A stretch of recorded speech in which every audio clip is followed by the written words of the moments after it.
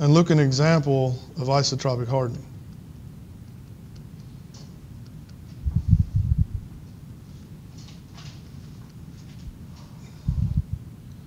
And I guess just quickly,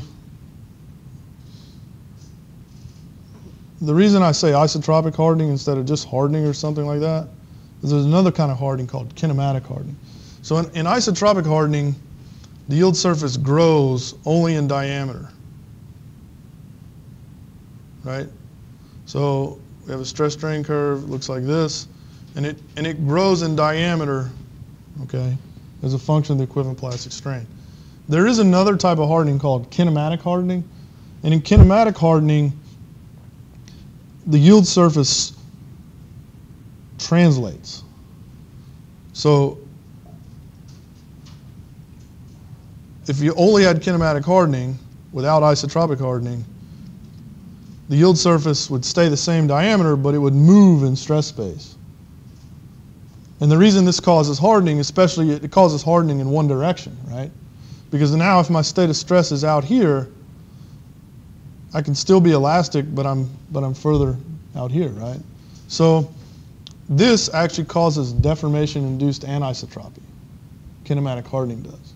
Because now the yield surfaces can translate around in stress space. It's still a cylinder, but it's translating around in stress space, and that can cause deformation-induced anisotropy.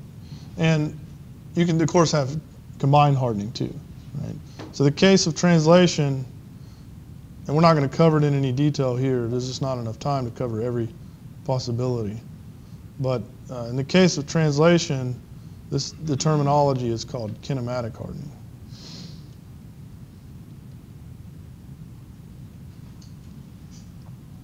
Okay.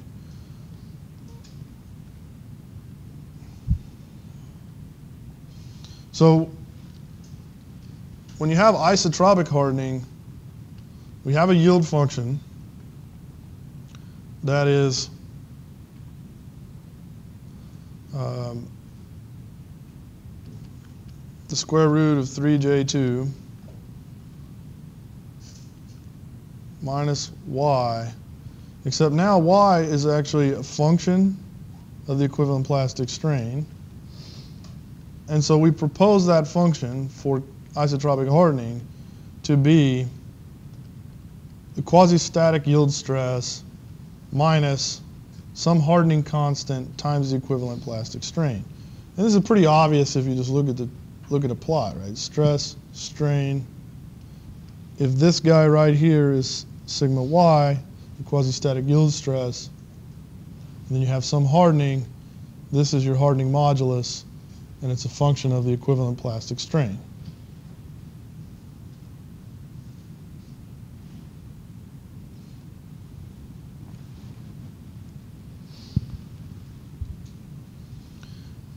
So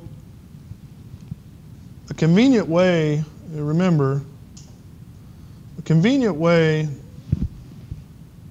we, we talked about that F is either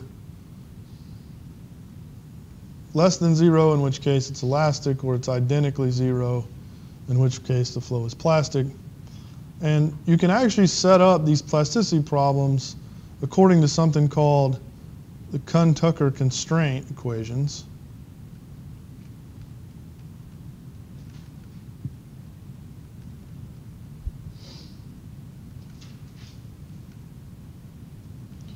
Kuhn-Tucker constraint equations. And these, if you've ever had a class in opti optimization, you've seen them, but basically what they are is that f is less than or equal to 0, lambda dot is greater than or equal to 0, and lambda f is equal to 0. Lambda dot f is equal to 0. So this is sort of the mathematical form of the problem we're solving. So we're solving an optimization problem according to these constraints. And you know, it, it's basically no different than what I've said in words. Uh, if lambda dot is equal to 0, then f, according to this equation, then then you know this is satisfied. So this this equation is zero, and then this has to be less than zero. So the flow, so it's elastic. Otherwise, if lambda is positive, and by the way, lambda dot lambda, it's always positive. It can't be negative. And so if it's if it's positive, then you have some plastic flow, and you have to satisfy this equation. And it turns out that you can basically combine these conditions to come up with a, a complementary condition that says that f dot is equal to zero. And so this is really all we need to solve. And so we can, we can do that. I'm going to write this term instead of uh, square root of 3j2 from now on, I'm, I'm going to write that it is um, 3 halves 3 half um, it's actually the equivalent stress. Remember I, I defined the equivalent stress?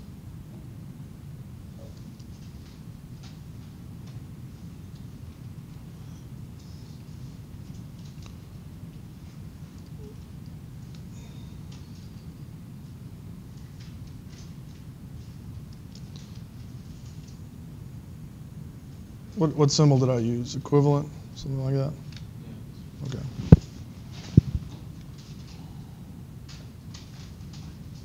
So, so then if we differentiate this guy with respect to time, you just get that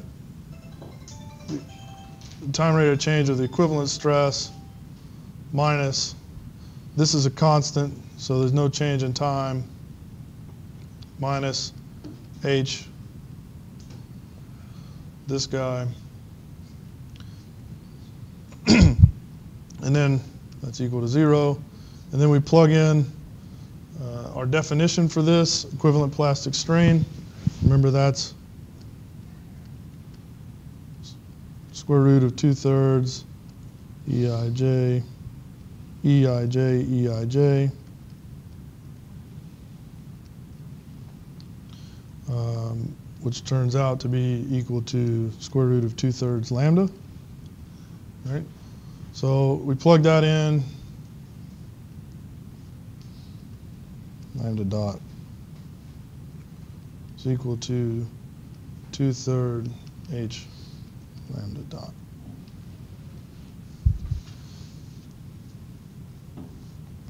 And so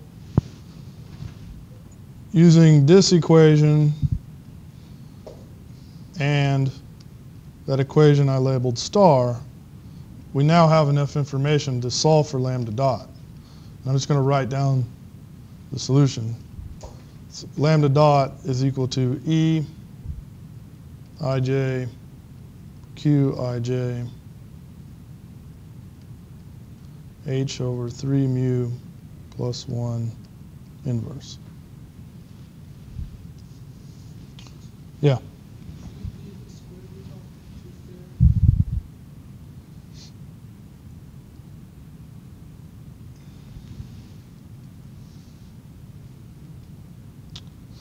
Um,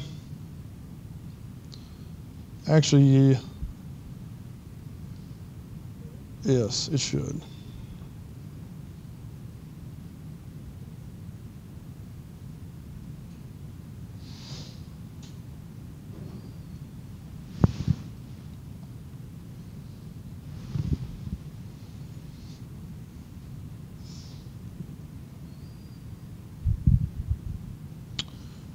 Actually, uh, it might be a little confusing if you go back in your notes because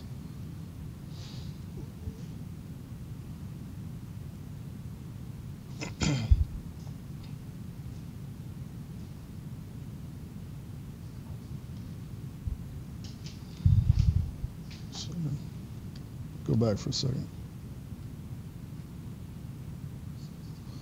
Yeah, I didn't use I didn't use uh, the equivalent stress here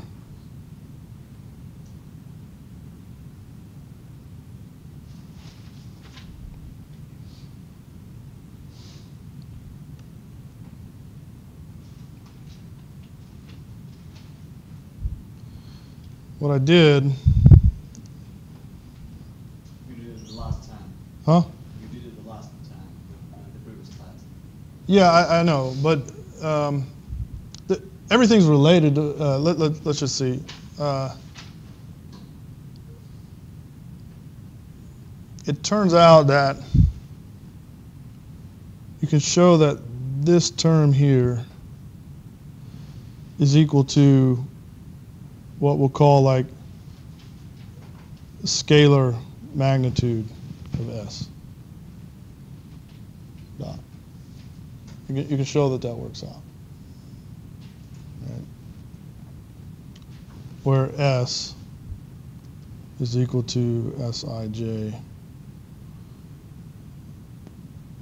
Sij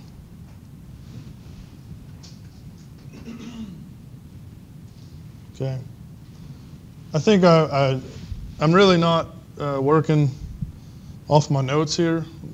And I'm sort of using a combination of some, some, uh, some, something. Actually, this is a proposal I wrote, and there's some stuff in here I'm sort of following, but I'm using different notation in here, so this is sort of off the cuff, and and I might have made a little mistake. But so let's do this.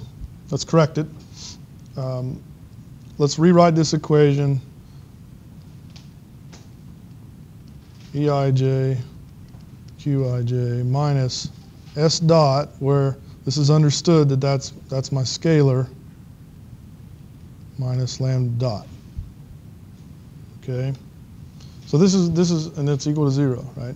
So just remember, I mean, I'm contracting a tensor with a tensor, so this is a scalar, this is a scalar, this is a scalar, okay? So let's call this star. Right.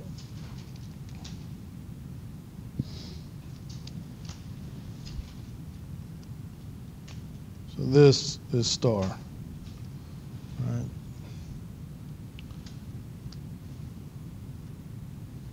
And with that,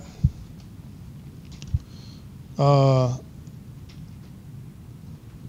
with that, according to the same defi- definition, I can show that this, instead of being the equivalent stress, it is the square root of 2 third S.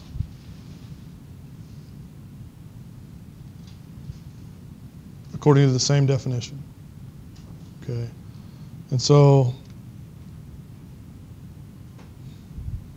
when I differentiate it,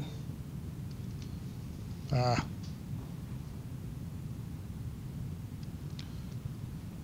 square root of 3 half s. Okay. And so th- then when I differentiate it, I have 3 half s dot.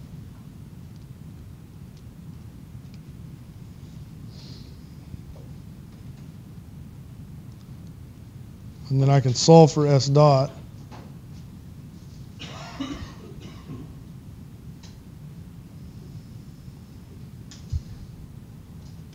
So solving this for S dot.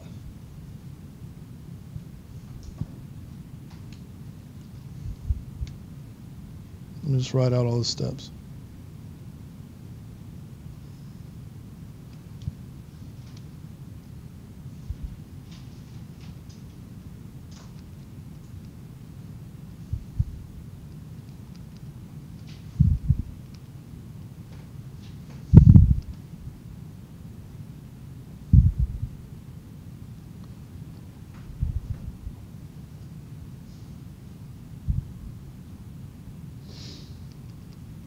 Then, now you can see if I multiply, uh, if I multiply both sides of the equation by the square root of 2 thirds, I mean, if I multiply this equation by the square root of 2 thirds, then this just, the first thing becomes 1, and this just becomes 2 thirds. So then I have S dot is equal to 2 thirds H lambda dot. Okay. Now I can plug this in to star, right? So now I have an expression for S dot. I plug it in here, and I have an equation that's only in terms, the only unknown is lambda dot. right? Because this is the total strain. We, we know that at any point. I mean, it's, it's, it's according to some boundary condition. I, I deform the thing, compute the total strain, right? So then I know it, and I, and I can.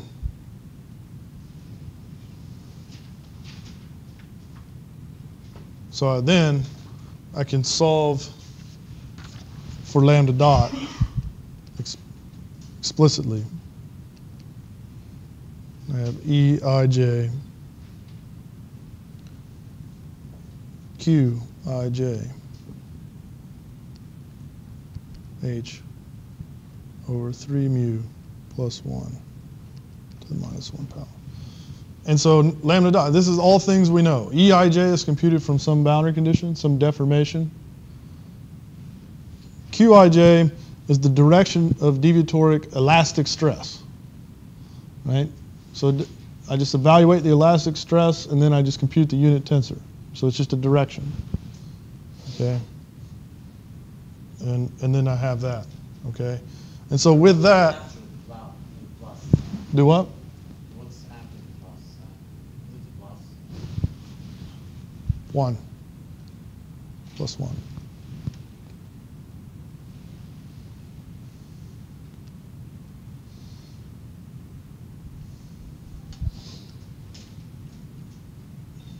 So with that, I can actually write down my entire constitutive model in rate form at least. So, so now I have that the stress rate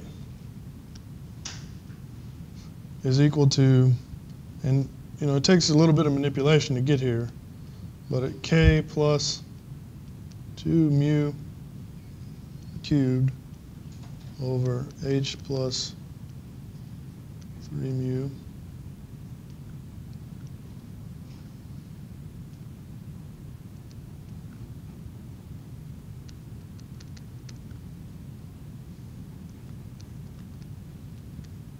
two mu minus six mu squared.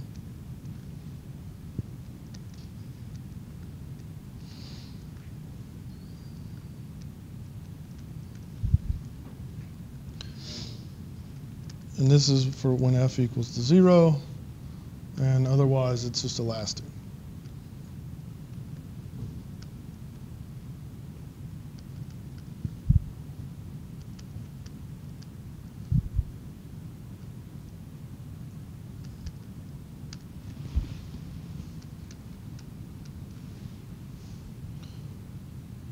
Uh, these should be rates.